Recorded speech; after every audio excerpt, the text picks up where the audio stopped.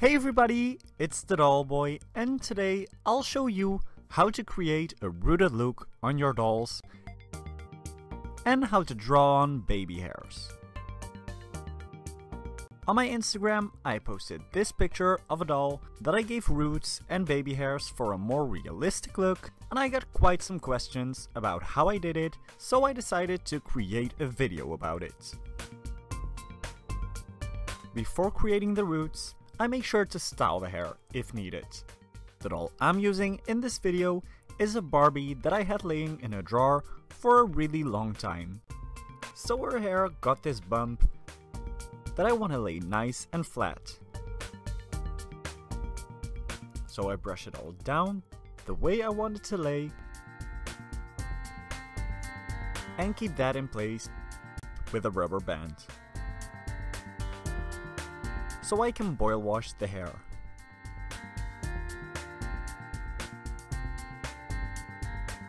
After that, I also added some curl to the hair. Then, I take this eyebrow pencil and simply start coloring in the roots. You can give the doll just a really small root or take it down a little more. For this specific Barbie, I didn't go down really far, but just gave her some dark regrowth. As you might be able to tell, right now it still does look a little powdery, so I take a comb and use that to shake out the roots, which gives it a more natural look because you kinda set the powder in place. You can also use the little comb that is attached to the pencil but I prefer using my regular comb because that gets into the hair better. Then I simply repeat the same steps for the hairline. If you get some of the makeup on your doll's face, you don't have to worry too much about it because since the makeup is temporary, it's easy to remove. After giving the doll roots all over the hairline, you can see that the face did get a little stained. To clean this up, I take some damp paper and just wipe away the stains. Being careful not to touch the hair.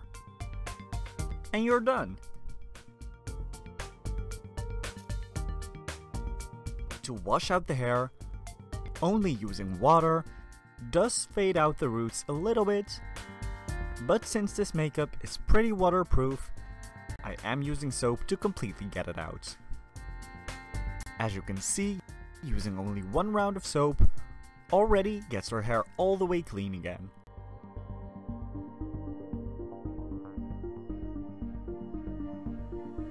Then for the baby hairs, I take some paint that matches the hair color. If I'm doing this for a doll that has multiple shades in her hair, I like to use the color of the hairline. So as you can see, this doll has an ombre with blonde tips and dark roots. So I'm gonna go for the dark brown root color. This specific doll has her part on the left side. And I wanna swoop the baby hairs away from the part. To paint the baby hairs on, I use several toothpicks.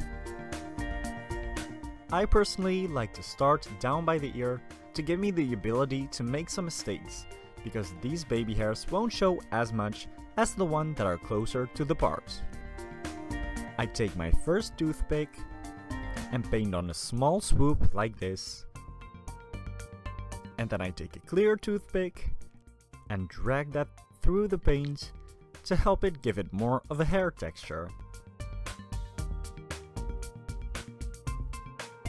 So I just start by painting one swoop and then I'm breaking it up with that clean toothpick so that it looks like every swoop is made up of multiple strands of hair.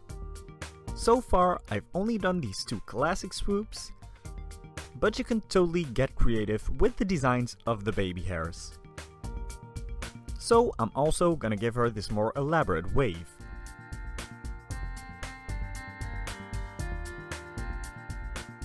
And then sometimes, I like to go in and give the doll a little wave at the sideburns as well.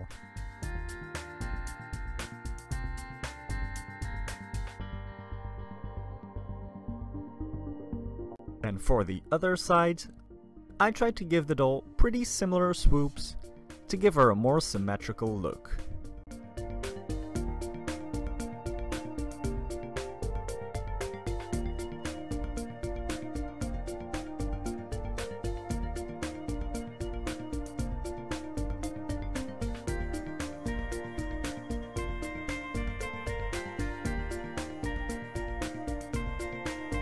Then when you're happy with how the hairline looks, you just want to let it dry before styling the hair. And you're done! I really hope you liked this video.